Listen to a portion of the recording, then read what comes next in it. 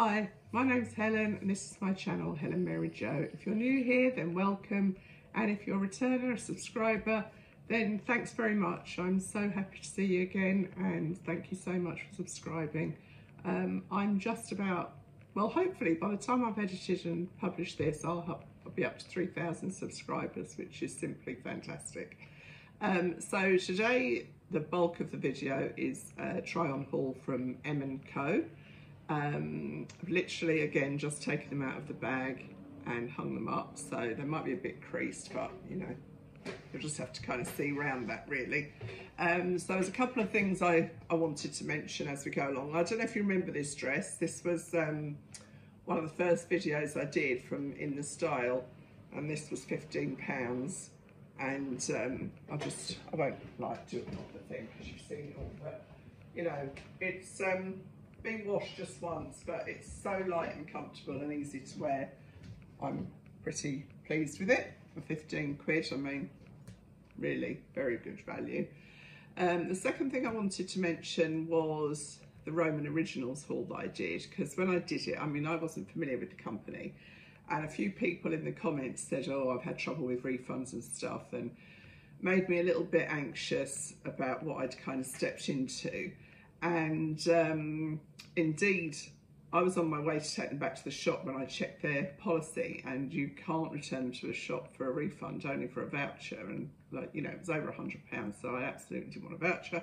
Anyway, long story short, I returned them in the post and um, I got a refund, no, no questions asked. So just to reassure anybody buying from Roman Originals, that wasn't an issue in the event. Um, I guess some people just have bad luck in that regard. So that's that.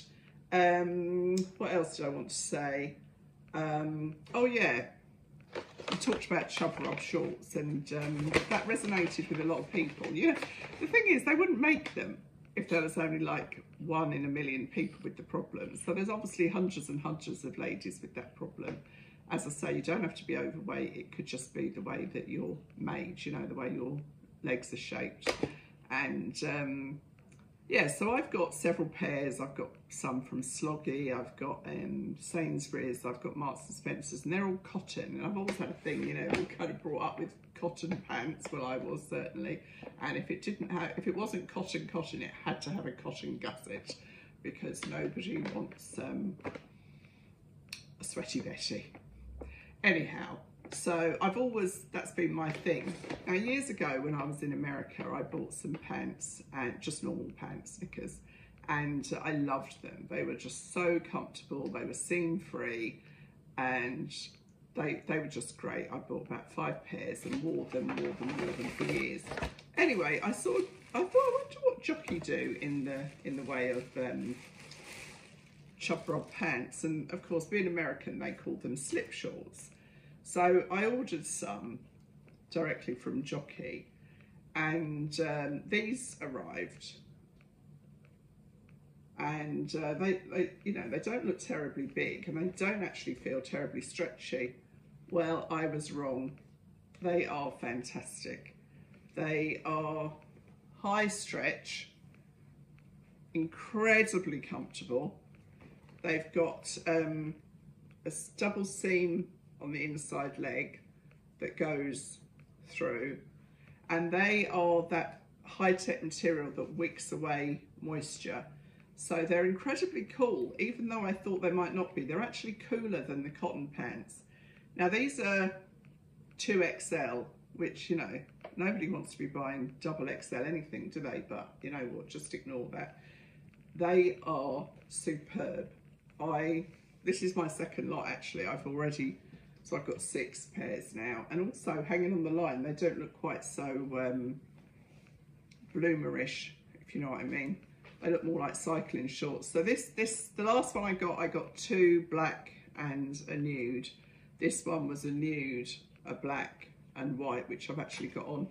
They come really high, so like I, I could actually tuck, tuck in my bra if I felt so inclined. They smooth out your lumps and bumps, but they're not compression or anything. Anyway, I can't remember how much they are. I'll put it, I'll put the link, but they did have 40% discount if you signed up, which of course I did. So I would just highly, highly recommend these. Um, they arrived in about four or five days. I think they're about £26 for three pairs, which actually, as these things go, is not a bad price. So that's my real big tip, tip of the week, that is. The Jockey, I think they're called skim shorts. Does it say on here? Skimmies.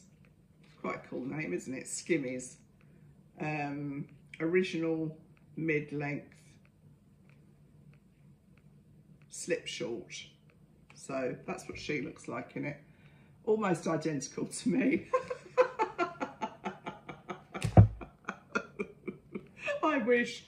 Anyway, so that was those. That's what I wanted to mention.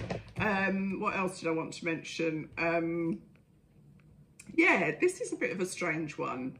And you know what? If if you're if you're not interested, just just fast forward till you can see the blue Helen Mary Jo thing because I just wanted to talk about the fact that in one of my first videos, I described myself as obese because I am obese. That doesn't mean that I am uh, anything other than clinically defined as obese. Now, few friends and family have said, not obese. And I said, but I am obese. Like, if I was diabetic and I said I'm diabetic, they wouldn't say, don't call yourself diabetic because there's nothing attached to that, is there? There's nothing attached to being diabetic. People don't think, oh God, you know, you're lazy because you're diabetic. You're, you're inactive because you're diabetic. You eat too much because you're diabetic. So you're diabetic. You know what I mean? There's, I am clinically, medically obese. Now that doesn't mean that well, it doesn't mean anything. It just means that medically, I am clinically obese.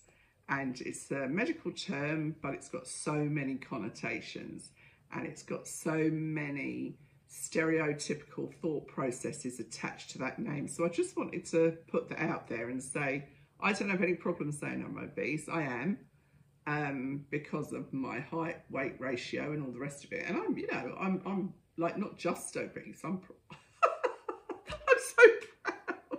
I'm not proud at all. I'm just saying I am like bona fide obese. So shut up about that now, Helen. Um, and uh, that's it really. So they're the kind of few little bits that I wanted to just uh, touch on today. And then I'll just have a little chat at the end. So that's... Sorry about that bit of a hiccup with the microphone, but hopefully it's all fine. So anyway, enough about all that talk. Um, I'm going to try on the clothes and um, I'll just have a little chat at the end about stuff in general. And as usual, if you don't like any of that, then just keep going. I've done my hair differently today. I was trying to do one of those kind of, um, what do they call it? Um, like beachy wave things. I think it just looks a bit of a mess, but it, you know, uh, whatever. I was just giving it a go. So, um, yeah, without further ado, I will start trying the dresses on from M & Co. So there's, I think there's four dresses, a couple of tops and a raincoat of all things. So bear with. So this dress is 100% viscose. It's reduced from £69 to £26. Quite a heavyweight viscose. Um, and it's got white, pink, blue, green, navy, all in the um, Sorry, my mic's been playing up. All in the fabric. It's got shirring here. I pulled it on. I didn't undo the buttons. It's got this kind of pie crust frill, um, ties, rouleau loops, and this little placket behind, which is just falling back and showing you my bra, my tummy, everything else. You could easily fix that if you love the dress and you felt so inclined. I don't love the dress, so I don't feel so inclined. So it's buttoned all the way through with a tiered hem. Um, can you see that? Yeah, so it's got a tiered hem. The slits are just above my knee, so that's fine. Um, it's not really for me. It's kind of a bit too much going on with it. But uh, it's a nice fabric. As I say, it's shirring here. It's it's not tight tight, but it's not loose either. I mean, I've, I've got big arms, so you probably wouldn't have that problem. Got pockets, which is a winner. Um, it's quite fitted. There's not a lot of room in it, but it's room enough, you know. Um, so yeah, it's it's not really for me. It's too too much going on, and this is just ridiculous. I mean, if I'd have paid sixty nine pound for this dress, I'd have been a bit annoyed. But anyway, so that's um, dress number one. So dress number two, um, I think this one was twenty six pounds. So I, I'll link it below. It's got a nice design. It's got these angel sleeves. Um, which are a nice length and very flattering. It's fitted, it's got this shirring here it's got a side zip. One thing is, it's actually quite see-through. I've got white pants on and you can see see those that end here. They're actually my jockey shorts that I was just showing you. It's quite creased. I've kind of left it creased because A, I'm not keeping it, and B, I think that indicates that it will crease quite easily. I mean, you can see here, you'd, I don't know, nude, nude underwear might work for that but um, it's a very, very fine viscose. It's really pretty colour. It's the aqua, which I adore. It's got quite a nice round neck. Um, but uh, yeah, I nearly had a close one because I didn't see there was an invisible zip and nearly got it stuck over my head. But uh, when I was checking the fabric, which I think I said is viscose, it's like um, wash, hand washing cold water, no tumble drying, um, hanging, dry in the shade, all of these exclusions, which, you know, nah. Like, you're never going to remember all that, are you? You're just going to take it off, shove it in the wash. It's not like a special dress that you would expect to take special care of. So, for me, that excludes it from going into my wardrobe. Well, and it's see through and it's a bit too fitted. So, it's not like I'm gutted or anything. But, um, yeah, I mean, look at that. It's not, that's not good, is it? Um, it's good length. I think, you know, if you're slimmer, may well be really nice dress for you, but it's not for me, I'm afraid. So that's number two. So this is dress number three. This is 100% polyester and um, I'll be changing out of this as quick as I can. There's Dolly, absolutely unimpressed. It's a nice dress in as much as it's got this um, nice cuff of shirring here and long sleeves and it's completely shirred here. It's, um, you know, shows my bust off, um, shirred at the back and then it's um, quite a lot, nice long length with two tiers and uh, a seam here and a seam just on below my knee. As I say, it's 100% polyester. It's, it's obviously more of an autumnal dress. And this one was £30 from £50 the strange thing is I can't find any care label inside it. So it just says on the website, it just says a gentle 30 degree wash. So like that's fine, you know, probably going with the rest of my washing. But um, it's a nice spot. It's, I like this colour. It's like this dusky pink. It's very kind of autumnal. Not today. I think it's 20, 27, so it's a bit warm. Anyway, so that's dress number three. This dress is um, £24 from £49 and it's viscose and elastane. It's quite a, a reasonably thick um, cotton. It's the sleeves just are in the wrong place for me there. Um, but you know, it's quite a nice shape. I'll just move that slightly. Um, it's it's got this shaped waistline and um, the pockets here. Um, it's kind of I know it sounds daft. I think it's like a a day at the harbour kind of dress. But I don't know if that makes any sense at all, but it's kind of got a bit of a sporty vibe to it. Very comfortable. It's a little bit like the leopard print dress that I tried on from Marks. Um, but uh, it's got the, all these different bright colours in it. It's, it's quite a nice dress. If it had a longer sleeve, I might be tempted. But I think it it's probably quite um, like broadening across my hip. So, um, yeah, yeah, not a great haul for me really, but it gives you an idea of what their their sizes and things are like. And uh, I think on the right person, this would be. I, would probably see this on someone else and think it was lovely, to be honest. Um, but it's just not ticking enough boxes for me. You know, I've got so many clothes that they have to tick all the right boxes for me to actually keep it. Now I'm looking at that. I, I, I guess all the lines kind of go down, curve down like that. So um, yeah, I'm just going to take this off because it's rather warm. And then I'll show you the other bits because I'll be honest with you, my hip is killing me. I've been standing up for too long. And so I'm just going to show you the other bits. Um, the, there's two tops. I'll show you those on the hanger. And uh, then I'll just I'll just pop the raincoat on, which you won't really get a good view of it, but I'm, I'll do my best and show you what it's like. Okay, thanks a lot.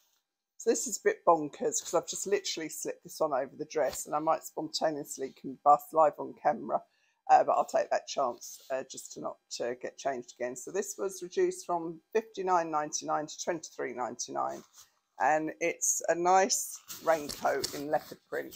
Um, unfortunately, the hood, uh, the hood is um, not detachable, which I do prefer a detachable hood, but then you can bet yours detach the hood and then you wish you had it in a rain rain cloud. Um, it's got the drawstring here to, to give it some, you know, shape. You can kind of, without doing it up, you can pull those back to give you some waist. It's a good length, actually. I mean, it looks stupid over this, but, you know, I'm just quickly showing you what it looks like on an 18. I could do it up, no problem. It's got, um, like, the little slit there. Hasn't got one of those double-ended zips, so, you know, if you sit down, um, you haven't got the option to loosen it up. Got a nice sleeve. I don't know what you think. I don't know if it's a bit Pat Butcher. If you're not from England, she was the landlady at uh, the EastEnders pub. Um, well, in the Vic on these on EastEnders, which is a, a soap set in London. Um, but I thought it was worth a pump for 24 quid. I think it's quite cool looking raincoat, really. Um, easy to slip on and off. I'd say it's probably just shower proof. I'll just look for you. Um, 100% polyester, yeah. I, I expect it's shower proof. I wouldn't say it's rain proof. So anyway, just wanted to quickly show you that.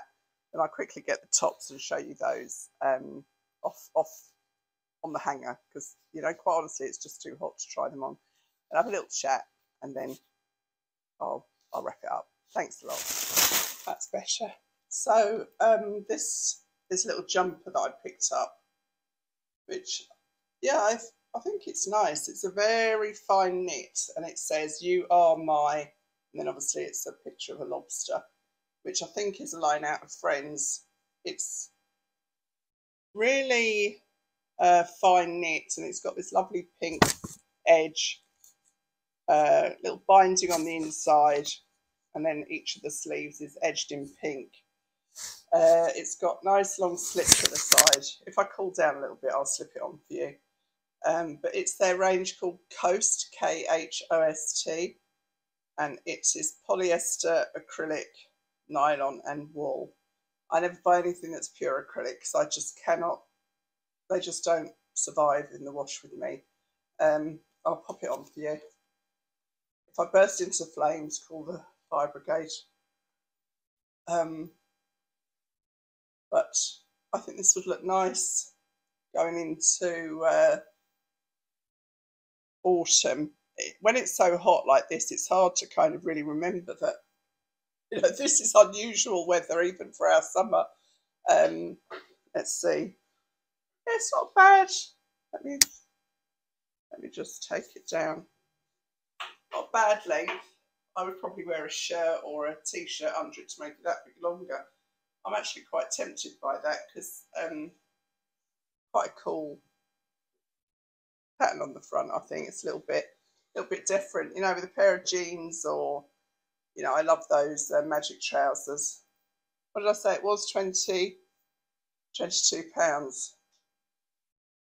Yeah. Oh look, it's got like a pink, pink well, upside down heart here, I guess.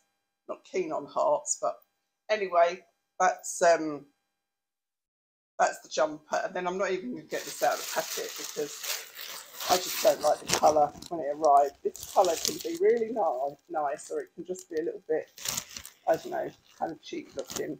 And for me, this just went into the cheap looking. I got this in 20, but it'd probably be big enough, but it's just, just not my thing. But um, I yeah, oh gosh, my hip is so bad today. Oh, roll on the x-ray next week. Um, yeah, so that's M & Co. Now, I don't know about you, but M & Co confuses me a lot because they do have some, um, my hair's going mad. Uh, they do have some really nice things in there, but I used to think it was a cheap shop, you know, or not, not cheap, let's rephrase that, inexpensive shop. And so I didn't really ever go in there. My daughter lives near Egham and there's one there. So I used to, you know, when I would visit her, I'd pop in there and just really buy kids things. Um, but like some of those things were, you know, the original price was like up in the sort of seventy pound bracket. So they obviously changed their demographic of who they're aiming their clothes at. But what I would say is that if you if you sign up with them, they're always like every other couple of weeks they're offering you 20 25% off. So i would never ever buy anything in their full price. Um, they are always offering discounts which yeah when shops do that on a regular basis i don't know whether they inflate their price so that then when they do the 20% it's kind of what they were hoping to get in the first place. Or whether they're truly 20% off but you know why would you pay that inflated price when you know without a doubt? I mean there was no offer. I didn't get an email but I just had a little search for a discount code and, and found 20% off of um, everything I bought anyway. So yeah, so yeah, it's a bit of an enigma, M and Co. I'm not sure about it. The, the clothes are nice enough quality, and um, got nothing against it as a store. Uh, unfortunately, today maybe I'll keep the lobster jumper. I haven't really decided. Like I say, it's really hard to um, think about jumpers when it's so so very hot. I think there's no there's no rain on the forecast for the next 10 days anyway for sure. Um so yeah. Anyway i had my friends down for lunch yesterday. That was lovely. And then we've got the funeral on thursday grandson friday. Um up in london next week. It's a busy old time. Then my sister-in-law's coming to stay for a week. So i'm going to have to be organized to get you guys another video which i really want to do. Like i'm really enjoying it. So I hope you can bear with me, be patient, keep watching, keep commenting, and um, yeah, let's enjoy this ride together. Is it a ride? Yeah, it's a journey of some description, one I never thought I'd be on, but I'm loving it. So thanks again, and I'll see you soon. Thanks for watching. Bye.